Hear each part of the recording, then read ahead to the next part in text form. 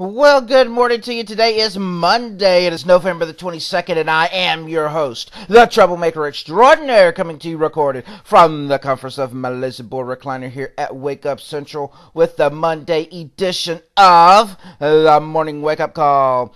Oh, yes, it is OMI Monday. Oh, my, it's Monday, and we have come to the end of another weekend, and we are at the front doorstep of the next work weekend. I have one thing and one thing only on my mind. And that is, I'm happier than a vertically challenged person in a short and small store.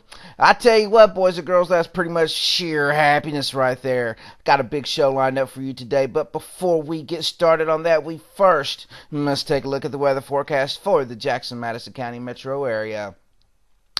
Today we are looking at mostly cloudy skies. The high is going to be in the uh, mid to low 70s. This evening, showers are likely, possibly a thunderstorm. Otherwise, mostly cloudy with a low around the lower 60s. Chance of precipitation this evening, 60%. Well, all right, boys and girls. As I said, I got a big show lined up for you today, big in more than one way. We're going to talk about what big dude here. Uh, I've got some info here that was submitted to me from one of my favorite fans. Um, it's uh, on the uh, tallest person in the world, which is kind of cool. Consider this was sent to me by one of my not so tallest fans. But anyway, the tallest guy in the world, his name was Robert Pershing Wadlow. Uh, he was born on February the 22nd of 1918 and uh, passed away on July the 15th, 1940. The young man was 22 years old when he passed away. He was the tallest person recorded in history, and um, he was also known as Alton Giant or the Giant of Illinois because he was uh, raised in Alton, Illinois. excuse me, Wadlow reached 8 foot 11.1 inches in height and weighed 485 pounds at his death at age 22. His great size and continued growth in adulthood was due to hyperopathy of his pituitary gland, which resulted in an abnormal high level of human growth hormones. Uh, he showed absolutely no indication of ever ending his growth at the time of his death. So if he continued to live, who knows how tall this dude would have been. Uh, let's see. In his later years, uh, Wadlow's size began to take its toll on him, requiring leg braces in order to walk, and he had little feeling in his legs and feet. Despite these difficulties, he never was confined to a wheelchair. On uh, June 27th, in 1940, 18 days before his death, he was measured at 8 feet 11.1 inches by his doctors C. M. Charles and Cyril MacBryde of Washington University School of Medicine in St. Louis. Wadlow was an American celebrity. He was well known due to his uh, 1938 U.S. tour with the Ringling Brothers Circus and his 1938 promotional tour with the Interco. He continued participating in tours and public appearances.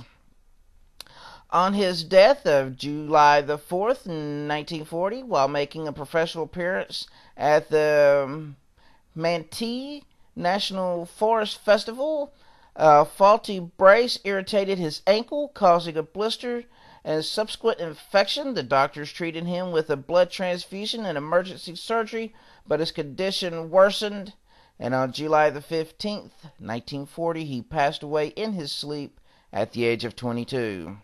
An estimated 40,000 people attended Wadlow's funeral on July the 19th. He was buried in a 10 foot long, half ton coffin which required 12 pallbearers to carry, and was inert in a vault of solid concrete.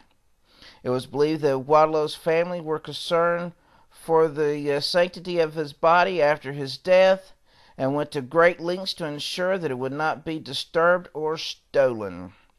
As of today, a life-size statue of Wadlow stands on College Avenue in Alton, Illinois, across from the Alton Museum of History and Art. the statue was erected in 1986 in honor of the hometown schoolboy.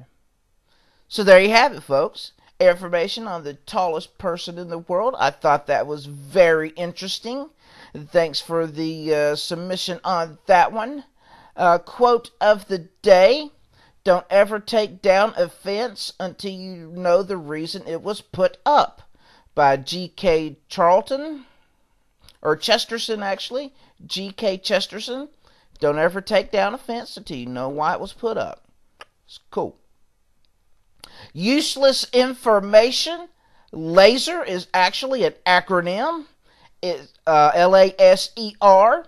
It stands for light amplification by stimulated emissions of radiation. Had no clue. That's pretty interesting there. well, boys and girls, that is today's show. I will be back here tomorrow with the Tuesday edition of Wake Up Call.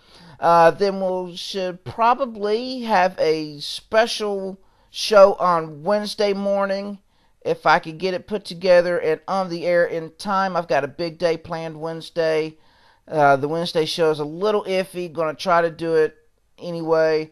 Uh, will not be on the air Thursday, but we'll try to be back on the air by Friday. So this may be a short week for the wake up call, but however, I want to wish you and all of you out there a wonderful day and a wonderful week, and may God bless you. But I, like the averted belly button, am out of here.